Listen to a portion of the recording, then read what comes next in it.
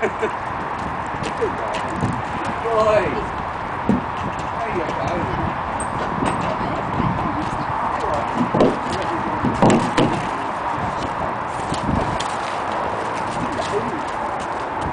Give him a couple of goes at it, Don, before we go heavy on him.